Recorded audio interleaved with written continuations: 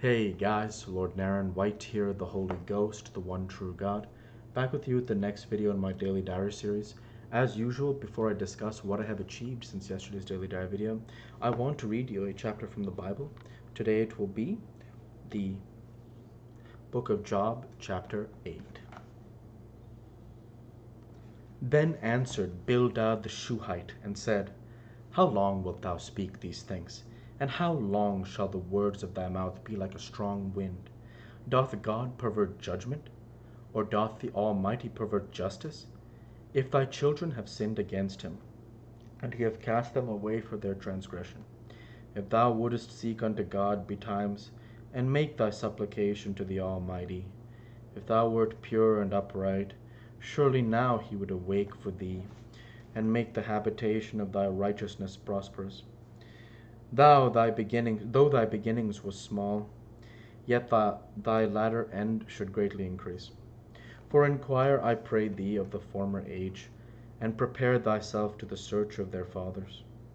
For we are but of yesterday, and know nothing, because our days upon earth are a shadow. Shall not they teach thee, and tell thee the utter words out of their heart? Can the rush grow up without mire? Can the flag grow without water? Whilst it is yet in his greenness, and not cut down, it withereth before any other herb. So are the paths of all that forget God, and the hypocrite's hope shall perish, whose hope shall be cut off, and whose trust shall be a spider's web. He shall lean upon his house, but it shall not stand he shall hold it fast, but it shall not endure.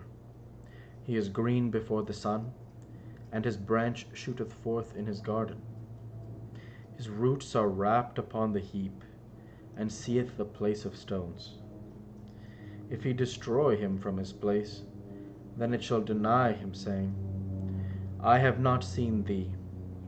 Behold, this is the joy of his way, and out of the earth shall others grow. Behold, God will not cast away a perfect man, neither will he help the evil doers. Till he fill thy mouth with laughing, and thy lips with rejoicing. They that hate thee shall be clothed with shame, and the dwelling place of the wicked shall come to naught. The word of the Lord. Thanks be to God. So one of the most beautiful uh, verses from what Bildad the Shuhite, Shuhite responds back to Job is Bildad says here,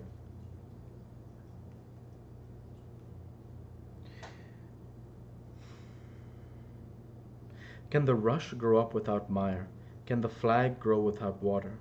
Whilst it is yet in his greenness and not cut down, it withereth before any other herb. Why? Bildad is going to explain so are the paths of all that forget God. Or he's, excuse me, he's relating it to this idea.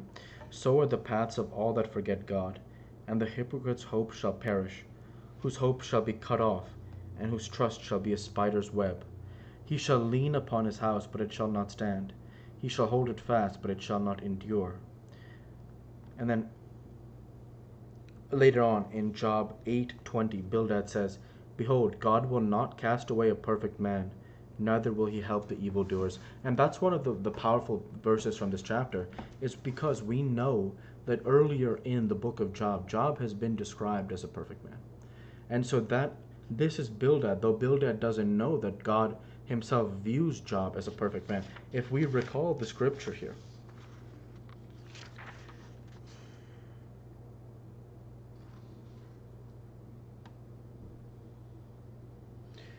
all the way from Job 1 8, the verse reads, And the Lord said unto Satan, Hast thou considered my servant Job, that there is none like him in the earth, a perfect and an upright man, one that feareth God and escheweth evil?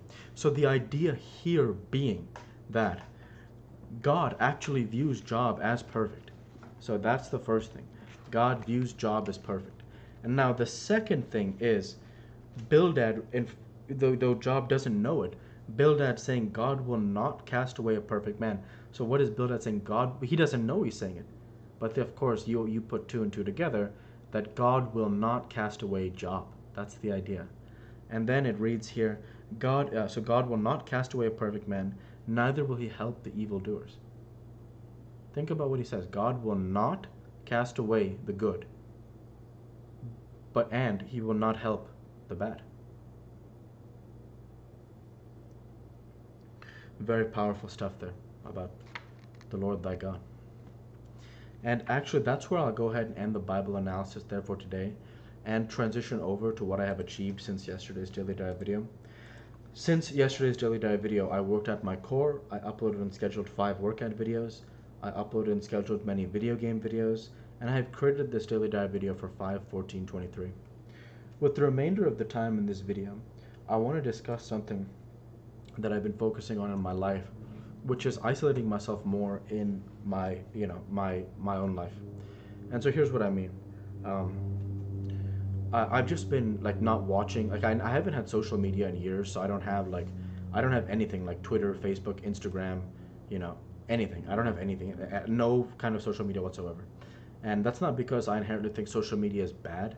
It's because I know for myself that social media the people that you meet on social media are not your friends. Um, I often talk about this that um, the idea being how many people could you count on not lend you money because the bank will lend you money? How many people would give you one month's rent if you asked? Give you free of charge and they wouldn't ask you anything. I only have two people in the world that I that I know love me here on earth, which are my parents. And I'm very grateful to them. And I write about how much they meant to me in chapter 14 of my gospel because I talk about how when I finally got a career level job, I cried all that day with my parents because a mango tree cannot give gooseberries. And so that's why I say now that the idea being how many people will be there for me? Well, nobody in the world will be there for me. And if you're watching this um, and you're not one of my direct descendants, then that's not a criticism that those people are bad. And most certainly, many of those people are from heaven. They are from heaven. It's that they have to take care of their own families, and that's actually the correct thing to do. Lord Jesus Christ teaches, Thou hypocrite, first clean out the beam of thine own eye. And that's correct. First, you've got to take care of your own life. Now, I say that because the troubles of the world are not going to help me advance Narengelicism. You know, um, for example, right uh, today, um, you know, as of today, I believe they're still fighting a war in Ukraine. They most certainly are. I've only been like not reading CNN or like news online for like a week or two, but um, yeah, they're fighting a war in Ukraine. Reading about that war, immersing myself in what's happening in that war, is interesting and it helps me from like learn history, but it won't help me advance Narengelicism. All that will help me advance Narengelicism is work and prayer and sleep, day over day over day over day for the next 30 years and I'll be prepared to start a dynasty of men. And that is the goal. And so that's why I've been pulling away from the outside world that much more because of the fact that, um, you know, when we talk about the value of belief, like self confidence, that I write about in, in the Gospel according to Lord Naren chapter 8, I talk about that because of the fact that the results that I'm looking for when I look, you know, when I look at, you know, not just history, but also believing in myself. I want my own results. You know, I, it's not that I can't learn things from other people. It's that if I need to learn, I can go look online and learn. It's ultimately that I believe in myself that I have the wisdom to not only know right from wrong, that as Job is described, I both fear God and I eschew evil. And I also believe very greatly in myself as the Spirit of God that I can achieve and manifest the goals I want, not by listening to the outside world, but by listening to myself, by listening to God, the Father, Son, and Holy Spirit. So that's why I'm doubling down on trying to pull away from the world a little bit more in terms of my own mind, because of the fact that in the world, Jesus says, In the world you shall have tribulations, but in Christ you shall have peace. And that's what I find to be true. And to God be the glory. So, with that, I would now go ahead and I would like to end this daily diet video there for today. So I want to go ahead and say thank you for watching and I hope you enjoyed. Please like, comment, and subscribe as it greatly helps the channel. Light to be with you all. Take care and thanks again.